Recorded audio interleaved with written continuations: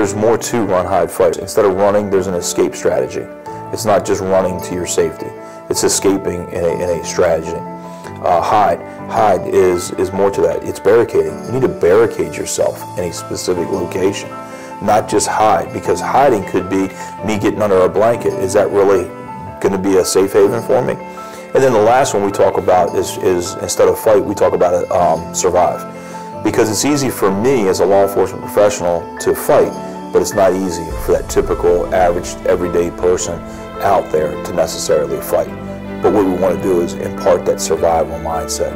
What we, what we pride ourselves on is not being a doomsday prepper. We're not a doomsday prepper. What we are is we are a mindset preparer. We prepare ourselves for those bad case, those worst case scenarios. So how many times do we see folks that are walking around? If we, we sit and we watch people, we can identify people that potentially have no idea what's going on around them. It's what we call oblivious to the world. Whereas we want people to be more engaged. We want them to have that survival mentality, that looking at something to say, hmm, that doesn't look right. Maybe I shouldn't stop and get gas at that location.